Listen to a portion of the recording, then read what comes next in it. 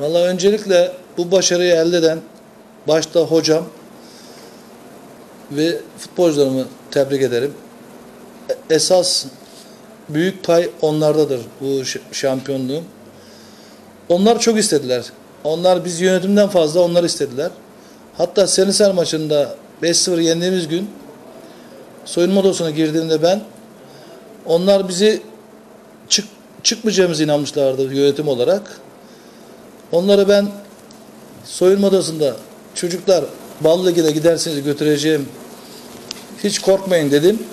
O gün sanki galibiyet primi vermiş gibi sevinmişlerdi. Ben o gün onların o gözlerinden, bakışlarından, sevinçlerinden bala çıkacaklarına inanmıştım bölgesel amatör lige. İnşallah bizi burada katkı sağlayan muhtarlarım var. Recep muhtarım, Serkan muhtarım. Onlardan Allah razı olsun. Bizi destek olan Fikret Çelikkol, Çelikkol Petrol. Ondan sonra DNZ Sigorta, Hüseyin Gökçe. Bunlar bizim yönetimimizde bizi destek olan, maddi manevi destek olan arkadaşlarımız. Muhasebe işlerimizde Sena Özkaya var. O da bizim yönetimimizde sağ olsun. O da çok uğraştı. Artık biz Bal Ligi'nin bölgesel amatör ligin kısaltılmış olan Bal Ligi'nin genç genç takımlarına olacağız. Haddimizi bilerek oynayacağız. Biz orada şu anda çırağız. Çıraklık, kalfalık, ustalık olarak değerlendiriyoruz. Biz 3 senelik periyot olarak oraya gideceğiz. 3 sene içerisinde inşallah düşmeyiz. 3 sene sonunda da hedefimiz profesyonellik inşallah. Bilmiyorum Ömer Bey inşallah biz Allah utandırmasın diyelim önce. Bu macera gideceğiz, göreceğiz. Artık Bağbaş Zeydiköy Spor ben ilk 5 sene önce geldiğimde 15 kişilik bir takımdı. Şu anda 150 kişilik bütün kategorilere girebilen altyapısı olan bir takım oldu. Bu altyapı bizim en çok güvendiğimiz çocuklarımız altyapı çocuklarımız. 12 yaşındaki çocuk şu anda 17 yaşında oldu benim ilk geldiğimdeki. Bu sene o çocuklardan 4 tane veya 5 tanesi balda oynayacak kapasiteye ulaştılar. Hatta 2 aydır da çocuklar bizim çıkacağımız ondan inanmıştı zaten. Yazı gelme, gelmese de. 2 aydır fitness'e gidiyorlar. Vücutlarını geliştiriyorlar. Kendilerini güçlendiriyorlar. Ben tek güvencem orada başarılı ol- olmak için tek güvencem o çocukların azmi, isteği, onların hırsı.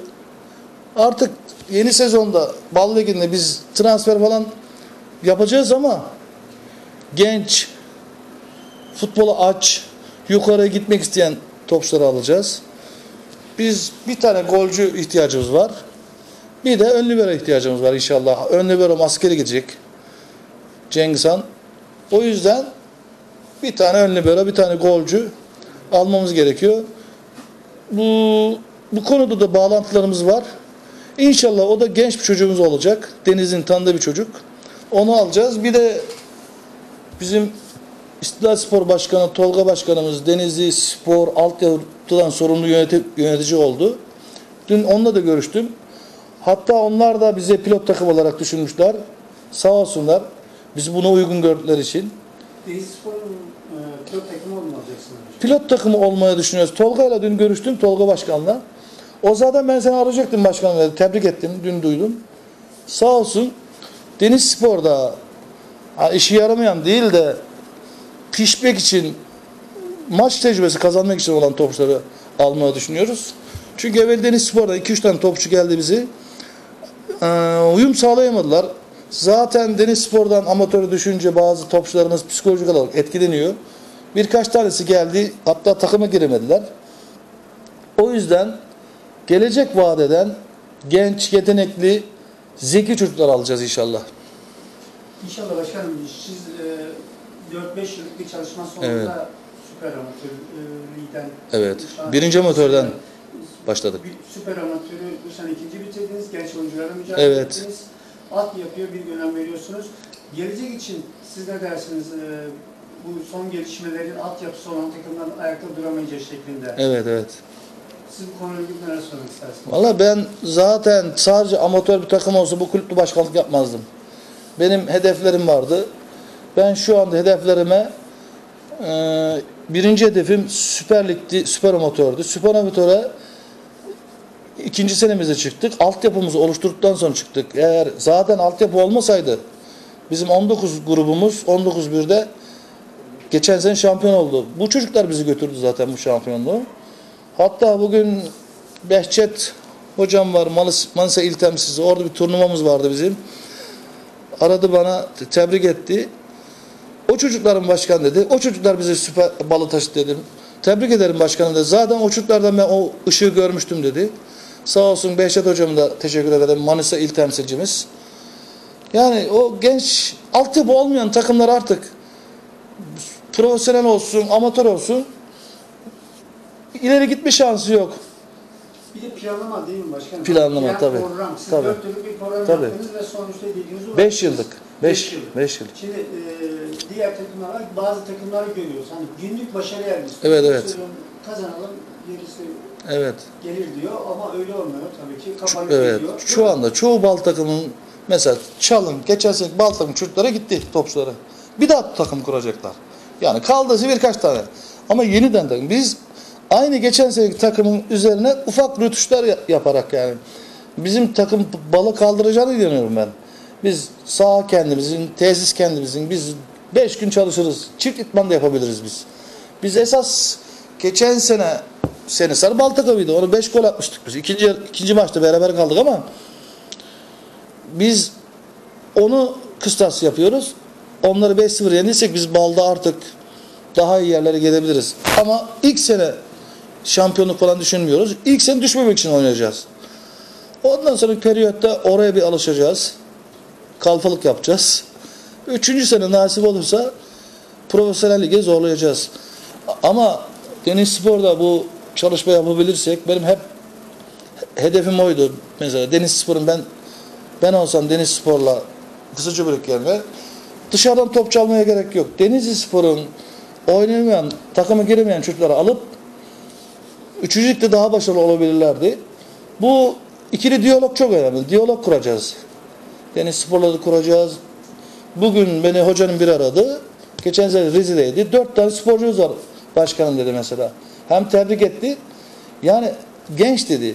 Size uygun çocuklar. Yani o çocuk bu şekilde genç, yetenekli çocuk gelirse biz zannetmiyorum biz oturmuş bir takımız artık. Kendisini 4 senedir tanıyan çocuklar bunlar. Biz profesyonel ligi çıktığımızda da bu çocuklarla oynayacağız yani. Ben onlarda o kapasiteyi görüyorum. O ışığı da görüyorum yani. Başkanım siz genç, yetenekli oyuncular yolunda devam Evet. Peki e, bu sezon 2020-2021 sezonunda Denizli 4 takım mücadele ediyor. Evet. Bölgesel amatörde. Bu nasıl değerlendiriyorsunuz? Daha iyi olur değil mi? Daha iyi olur tabii. Tanıtılması. Tabii, ve denizin tanıtılması. Mesela bizim saha e, uygun değil bal için. Sahamızın çimi de ekilecek. Biz saha arayışındayız. Biz büyük bir ihtimalle Honaz Belediye Başkanı'na görüşeceğiz. Genç Spor İl Müdürümüzle görüşeceğiz. Honaz'da rakip tribün yapılırsa biz Honaz'da oynayacağız. Honaz bir re- renk gelir. bu- Denizli Spor'un amatör takımı şey, e, Akademilikler. akademi ligi takımlar oynadığı yer. Evet evet Honaz sahası çok güzel oldu orası. Bir rakip tribün eksik. Büyük bir ihtimalle orada eğer Doğan Seyfi çimleri çok bozuk. Doğan Seyfi çimleri yetişirse Doğan Seyfi de olabilir. Esas Denizli'de bala uygun bir Akkanok sahası var. Doğan Seyfi var. Akkanok sahasında bu sene 1 ve 2. amatör birleştiği için maç trafiği çok fazla. Bal Ligi maçında prodüsör 2 saat önce ve 2 saat sonra maç yapamıyorsunuz o sahada. Biz Akkonak sahasını o gün kapatmak istemiyoruz. Ben biliyorsunuz iki dönemdir tertip komitesindeyim.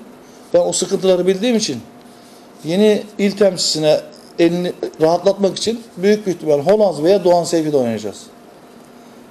Çalışmalarımız o yönde. Peki başkanım teşekkür ederim. Biz Hayırlı teşekkür olsun ederiz. tekrar. Sizin var mı başka eklemek istediğiniz? Valla Sarayköy, Senisar, Çağal biz dört takım orada mücadele edeceğiz. Biz orada da birlik olmamız lazım. Orada şampiyonluğu oynayan bir takım olursa biz deniz olarak onu şampiyonluğa götürmemiz lazım.